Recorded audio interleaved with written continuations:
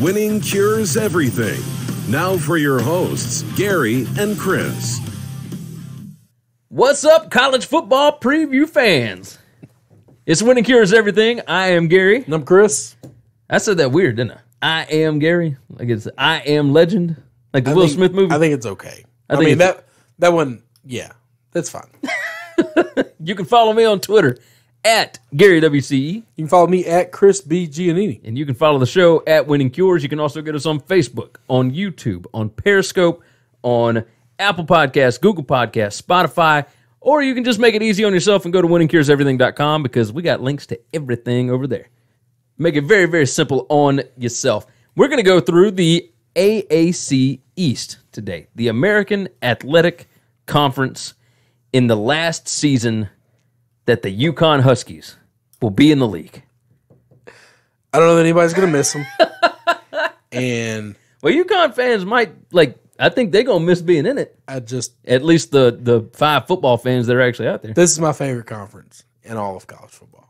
Oh yeah, I I, mean, I've made this so so clear. if, if people watched last I season, love I love the American. yeah, It's Well, I mean, so it's- good. It's very patriotic. It, uh, I mean, it's not even You're like, I'm that. not even worried Like, about you, that. You I'm could just- have called it whatever you wanted. It's just these teams are fun. They're Yes, way better than people in the country give them credit for. I agree. I mean, they are, and some of them I think are going to take big steps forward.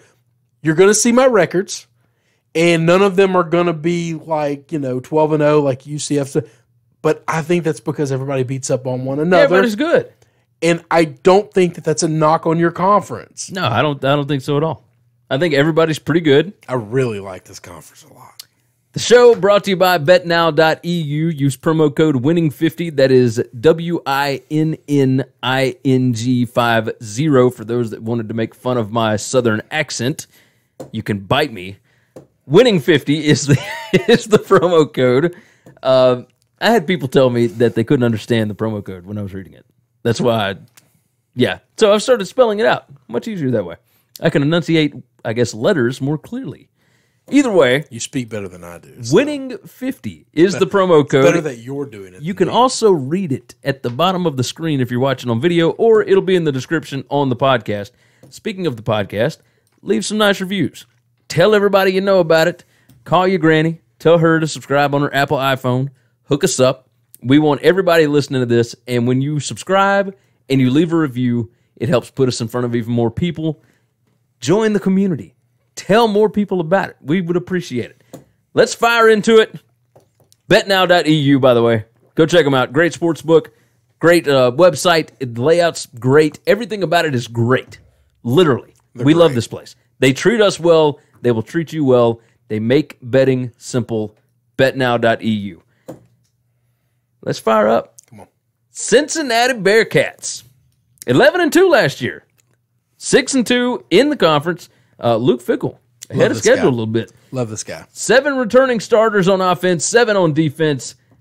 Number 51 most experienced team in the country coming back. Number eight, though, in the conference. Year three of Luke Fickell era probably will not be as successful as year two. The schedule set up perfectly last year. Correct. Uh, quarterback Desmond uh, Ridder is uh, he's back along with a plethora of skill players. Everyone but the right side of the line is back, and I think that Michigan transfer James Hudson is probably going to help that.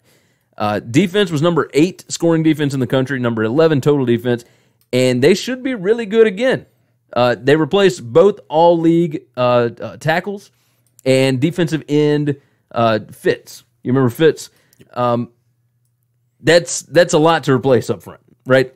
Now, you can tell the difference. Like between 2016 and 2018, there was a shift in this team in the size and the physicality. The team is way bigger.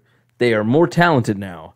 Like you can, you know how when you see a team at one point and you're like, ugh, you know, it's like, okay, like they got some dudes, I guess. And then you see them again and you're like, oh, Yeah. like something happened.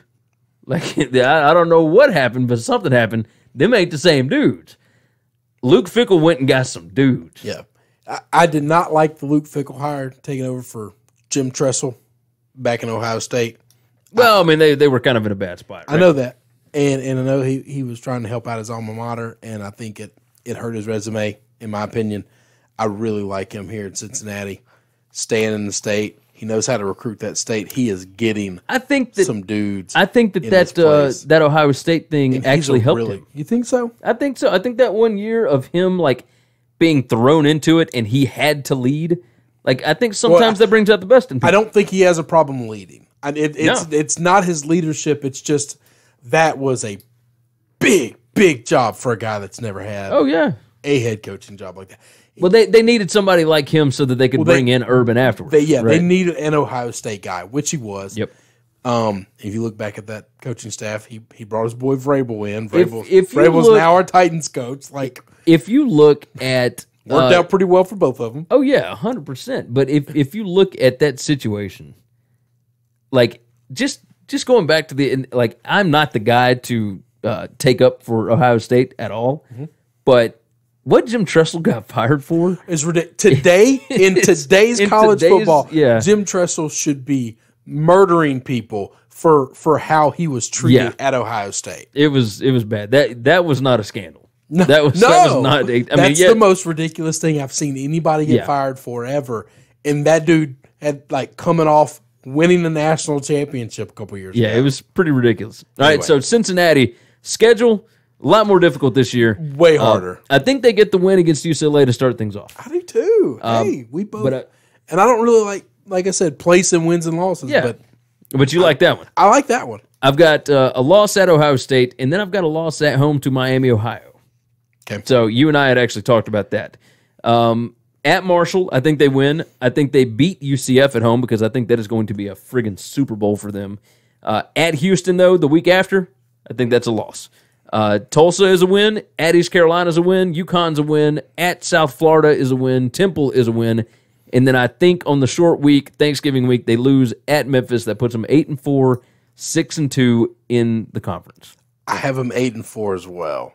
That's awesome. I, I, but I, like I said, I have a lot of teams in this nine and three and eight and four in this Yeah. conference, and it's not a knock on them. It is they are just beating one another up. I have no idea which games they're going to win and which games they're going to lose in conference, but there's going to be some cannibalism from them, Memphis, UCF, Houston, and USF. I, I think those five teams are really good. Yeah. And I, I didn't mean to leave anybody else out. There's other teams in here I like. There's other teams that but, are building but up. I, that are- I yeah. think those five teams are, are marketably better, I could I could see that. and they can play with big boys. Yeah. Yeah. All right. East Carolina Pirates, three and nine last year, one and seven, four returning starters on offense, seven on defense. Number 48 most experienced team in the country, number seven in the conference. New head coach Mike Houston. He was 80 and 25 at James Madison. That's not too shabby. Uh, but this is going to be a years long rebuild. I'm right. fairly certain. Look, the guy, the guy can coach, but he's got a lot of work to do here. Uh, quarterback Holton Ahlers, Ahlers, uh, he provided a spark for the offense last year, but uh, Houston does not want him to run as much as he did. I mean, the kid got hurt last year because of the running. Uh, new defense coordinator Bob Trott is implementing a 4 2 5 set. Uh, hopefully, that will improve their number 101 total defense from last year. It, there's quite a bit of experience returning, uh, and an easier to navigate schedule is going to help them improve, but I don't think they improve that much. I've got them at four and eight. I've got them one and seven in conference. Uh, they set it up fairly well, right? You know, they've got Gardner Webb, William and Mary at Old Dominion, um, at UConn. Like those are those are the four wins that I've got, and then you lose everything else at NC State, at Navy, Temple, at Central Florida, South Florida, Cincinnati, at SMU, and then Tulsa to end the thing. I think four and eight would be pretty good for It's this. just it's such a weird thing to think. I got the same thing at four and eight, but it's so weird to see a team that we think can start off four and zero, and then just we just don't see another win on the on the books. well, I mean, for them, like they start at NC State, so I mean they'll start with a loss. We okay. I, I kind but I, I but kinda they, never they could open up three and two, and then you got one win the rest of the way. Yeah. it's like, man, at three and two, you're thinking, all right, bowl game. Like if we can just win three more, we can get to a bowl. and you're just and not I just get there. I don't see it. You're not gonna. It it wouldn't surprise me if they finished three and nine again. Yeah, I mean, that just wouldn't shock me. It wouldn't I've shock me either. I think they can get that extra win, but I don't. I think Mike Houston is a good enough coach. They could find a way to five and seven. I think they Mm. I they know. could find a don't- win in there because they their offense last need, year I was need to not see the them problem. improve. No, you're right. It's not the issue, but I just think this is a tough call. I think the schedule's tough. Yeah, th- oh, it's absolutely tough. Uh, let's move on. Temple, the Temple Owls, eight and five last year, seven and one in the conference, which is crazy to think about. They went eight and five, but they went seven and one in the league. Their only loss was to UCF, and that was a fantastic game. They they're a, they're a really good team. They're a tough Yeah. team, man. I left them out of my like five that I love. I I, I don't know why. Well, I thi- well, because we're waiting to see what happens with um, with Rod Carey, right? We'll see. True. So, um, look, they were eight and five last year, seven and one in the conference. Seven offensive starters back. That's pretty good. Six back on defense. Number four most experienced in the conference, but number forty-four in the country. They lost head coach Geoff Collins. Then they hired and then lost head coach Manny Diaz. Yep. Oh, They finally took Northern Illinois coach Rod Carey. They they are usually the guys that hire the defensive coordinator guy. That's right. But They this time like they defense. They like tough. they said, screw it. We have had too many head coaches that leave from here and then go to bigger jobs. We're just going to take somebody else's head coach. Like, make it easy on ourselves. So they took Rod Carey uh, from Northern Illinois. Quarterback Anthony Russo, he took over in game three last year. You remember they lost to like Villanova and uh, somebody else. Uh, but man, they they did not look good in their first two games. And then he went seven and three as a starter and four out of five of their offensive line return. Uh, but the offensive line does lack depth this year. That's that's going to be a concern. Linebacker unit, best in the AAC, uh, probably one of the top 20, 25 in the country, uh, which they are every year. Temple just breeds these guys. Uh, 425 set. Um, let's see. No, no, no. I'm sorry. Uh, that- I'm looking at uh, how many they've got coming back for the front four. Uh, sorry, not many starters back uh, in the front four and the secondary, but uh, they do have a lot of upperclassmen, so that's good. Uh, definite transition situation. A bowl should definitely be attainable. I think so. I got them seven and five. Seven and five. I think they regress one game. Yeah, and it's. I mean, they won. It was their bowl game that they won last year, right? Didn't they win their bowl game? No, they finished eight and five. They finished eight, and five, but did they go eight and four? Oh, Oh. they finished eight and four in the regular season. Yeah, yeah, yeah. season. Yeah, Okay. I think they all. Um, I got them beating Bucknell. I got them losing to Maryland. A win at Buffalo. I think they're going to humiliate Georgia Tech. I think those players uh, are going to want to get back at Geoff Collins. This is a rare situation where the guy has to bring his Power Five team back to the G five school. Like that's that's rare. So I think that they're going to beat up on Georgia Tech. I think they win at East Carolina. That puts them out at four and one in the first five. But then after that, look, Memphis at SMU, UCF at USF, Tulane at Cincy, and UConn. Like obviously they get the UConn win. Uh, I've only got them beating SMU, SMU, was- and Tulane. I was just gonna say, and then I just I'm always wary to chalk up wins at Tulane. well, but this this one's in Philly. I, I understand, but, But uh, the against- triple yeah. option's a triple option. Well, but see, If that's you're the ready, thing. if you're ready for it, you're they ready. ain't for running it. the triple option. They're they're they're doing one of those weird things. He's trying to move more modern, and that's one of the reasons I don't know if I like him a lot this year. But but we'll talk about it. Maybe I need to change my Tulane pick. We'll talk about it in the next division. Not a fan. Um, but yeah, so Temple, I got seven and five. You got him seven and five. I got them seven and five. Okay, that sounds about reasonable. Uh, let's move on. Central Florida. This is the team everybody's here for anyway, right? Nah, maybe not. Why not? Twelve and one last year, eight and zero in the conference. Two undefeated seasons back to back. Come on, man. Well, last year wasn't undefeated.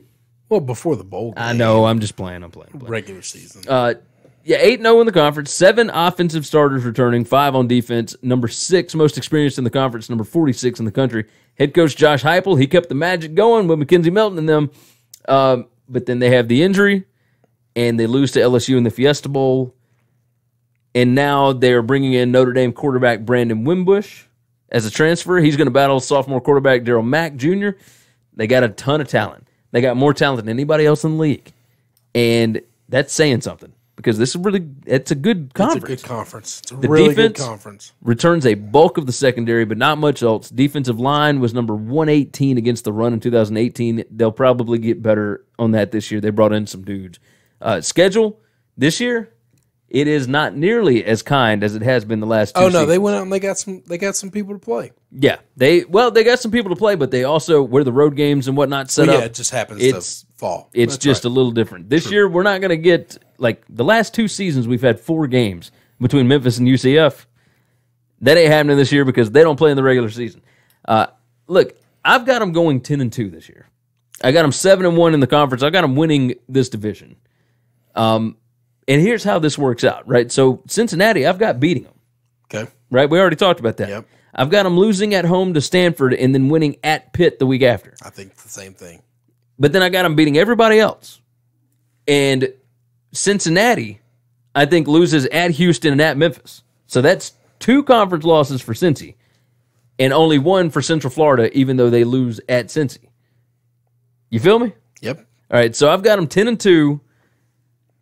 And I think that's pretty good. Yes. 10, 10 I wins is pretty- remarkable. But can you imagine? ten wins is remarkable. if if they were to lose two games by Friday, October the fourth, can you imagine what that fan base will be? That it, they have been one of, so if- if- unbelievable. If one of those teams is Stanford and they have a road win over a Power Five team, I mean, I know Pitt's not like a juggernaut, but they're also not, you know, like a bum. well, I'm saying if you it's not if like you going and lose saying at we Cincy, beat we beat Rucker. because the last two years they've been undefeated in conference. Right? I mean, undefeated regular season and Yeah. national champs in 2017, but you lose to Stanford at home in the biggest game on the schedule, and then you lose at Cincinnati in the first real conference game. I mean, it, uh, how does the fan base react? They Well, haven't just- had to deal with this in years. I don't think I don't think you can just say we finally lost a game. Oh, let's just throw in the towel. No, let's I all go home, you. guys. Let's go home. We finally lost a conference game. Well, let's quit playing football. We're not going to support the team anymore. No, I'm with you. I'm I, with I just you. don't think understand that's realistic. Like, what are you talking about? Josh Heupel was a really good coach, by the way. I forgot. I don't know how I forgot this, but I totally forgot that he learned and coached under Leach. You didn't remember that? No. I Yeah. was trying to figure out how I knew him, where I knew him. He's from Oklahoma when when Leach Yeah. was there. Back back back in the day uh, under Leach as a quarterback coach. Yeah, he, he He's legit. Uh, Like if he can, he's gonna he's he's a he's not gonna be. He is a good coach. he has got two. and this quarter- is a really good team. They've Well, got a lot of talent. Here's the difference, though. Yeah, the team's got a lot of talent. He's got two quarterbacks that ain't real good at throwing the football. He'll figure it out. That's I figured They, he you will. know what? They got too much one of talent not to. nei- Brandon Wimbush hadn't had a quarterbacks coach work with him the way Heupel's going to work with him. Heupel will get more out of him if he's a starter. Heupel will get more out of him than anybody coaching Notre Dame ever could have. Yeah, you're probably right. He's just a better coach than those guys. You are probably right. All right, UConn. We got two more. The UConn Huskies one and eleven last year, zero and eight in the conference. Six guys back on offense, nine starters back on defense. Number sixty nine most experienced team in the country. Number eleven in the conference, though. Randy Edsall's second stint has pretty much been a disaster. He is four and twenty since he came back. Defense is the main culprit. Of course, the defense set FBS records with 617 yards per game allowed and 50.4 points per game. They were last year the number 123 uh, most inexperienced team in the uh, in the country. This year, of course, number 69, so that's a little better. Uh, the offense has got their seventh offensive coordinator in seven years. They lost quarterback David Pindell and their top four receivers. So, where they were actually able to put up points in some games last year, might be a little more difficult to do that this year. Uh, how much does this school actually care about football? Does Edsall have any kind of magic left whatsoever? And I wrote actually, like I did my my note taking and whatnot, Okay. and wrote down this: how much does this school actually care about football? before they decided that they were Bouncing. bouncing to the Big East. I found that funny. That doesn't have a football conference. That's all I'm saying. Um, I don't think that they care. Like I, I think I think they're just done. Right? You know what's strange? If you were to look up UConn's football locker rooms, they just went through a massive renovation Yeah, I to know. help recruiting, and they look really good. Yeah. and, and they spent a lot of dough. Somebody cares. Somebody cares enough to stroke a big check. Yeah, you're right about that. That guy got to feel like an ass right now. I got him. I got him one and eleven. The only win is uh, over Wagner to start Yes. things off. One and eleven, they won't sniff another win. No, I think you're They- probably it, right. It won't be within double digits of anybody the rest of the season. All right, take two. We we had to chop the video, but now we're getting into the South Florida Bulls. I'm excited about this. Me too. All right. One of the teams I love in this in this conference, definitely in this division. Now I don't love them. I think they'll be a little better than last year. Okay. But I think a lot of that has to do with. Uh, well, look. Let's just let's go through the notes. Seven and six last year. Three and five. Returning starters. They got nine on offense, six on defense. Number thirty-two in the country in experience returning. Number two in the conference. So that's that's all good, right? Pretty big. Charlie Strong, 17 and 8 in his first two seasons. They started 7 and 0 last year and then finished the year 0 and 6. That's tough. There was talent and a little bit of the injury bug, but not much. It was mostly because of like that team was just not disciplined towards the end of the season for whatever reason. Uh, quarterback Blake Barnett, key weapon for new offensive coordinator Kerwin Bell, who, for those that keep track of these things, if you have not heard of that name, uh, Division two national title winning Valdosta State head coach is now the OC at South Florida. Uh, that should show you the difference in uh, finances. That's right. Like South Florida's offensive coordinator makes that More much more money than a Division two national championship coach. yeah, that's pretty crazy. Uh, number 95 scoring defense, number 104 total defense. New de- uh, defensive coordinator Brian Jean Mary. He spent the last nine years under Strong as a linebackers coach. Uh, so Strong bringing in people that he's comfortable with, that he knows to to keep this thing going. Charlie Strong's defensive S and P plus rankings. All right, now this is pretty crazy. Uh, seven and six at Louisville in 2010. They were number 27 in defense. 2011, they were seven and six again, number 22 in defense. Then he goes 11 and two with the number 49 S&P plus efficiency defense. That's right. Number nine most efficient defense in 2013. That's when he went 12 and one. Then he goes to Texas. All right, six and seven with the number 12 defense. Then he's got uh, five and seven with the number 60 defense. Five and seven with the number 50 defense. That was 60, 6 0. Yeah, 6 0 and then 5 0 the next year. Um, and then 10 and 2 his first season in South Florida with the number 29 defense, and then number 80 with the uh, 7 and 6 record last year. So his records are all over the place. Like his defense doesn't have to be good for them to win. That's right. In some cases, when the defense is good but the offense is bad, they can still be good, or sometimes they just suck, period. That's right. I don't know what to make of Charlie Strong. There is no identity, right? I've always defended him, and I don't know why. And the more I look at his resume, I just wonder, what am I defending? Yeah. And, I, and I don't know the answer to that, but I do like him. Like I've we- always liked him. Obviously, he's a high character guy, right? That's right. Like we we believe that, but But but when you have the mistakes you have at the end of the year last year that are discipline issues, and then we're not talking about discipline off the field, getting in trouble. No, it's but just, just- like fumbling the football, offsides, like penalties that are that are all about Correctable. Is your yes? Is your team focused? Is your team playing, you know, with some pride and and, and actually paying attention to the details? He- I I just I just like him. I think he's a really good coach.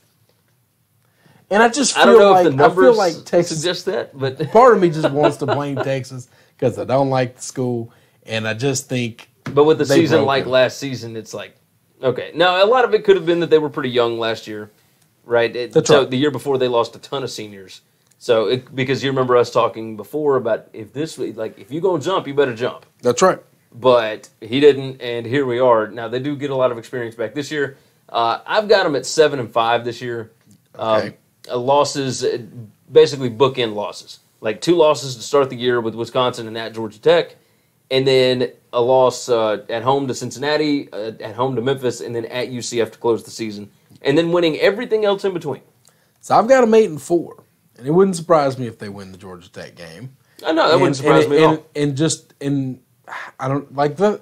There's nobody really on the schedule outside of Wisconsin, realistically, and I don't know that the way Wisconsin played last year that that's such a like they realistically could win all these games. Now, I'm not Yeah. saying they're going to go undefeated. I got them eight and four, but but I don't think anybody is so head and shoulders better than them if they bring their A game, and the other team is not ready. They can win all these games. Oh yeah, absolutely. And and so I don't know. Like I said, they're one of my eight. I've got a lot of eight and four, nine and three, ten and two in this conference because it. And I don't think it's a negative on anybody in this conference. I just think they're going to knock each other off. I can believe that. All right, so that's going to wrap up the AAC East. Uh, go to winningcureseverything.com. We've got all the other previews up there. Go to betnow.eu. We will see you guys next time. Thanks for checking out Winning Cures Everything. If you want to keep up with us, hit subscribe on YouTube or your favorite podcast app. Visit the website at winningcureseverything.com, or you can like us on Facebook or follow us at Winning Cures, at Gary WCE, or at Chris B. Giannini on Twitter. Share out the show, leave a nice review, and make sure to comment and tweet at us.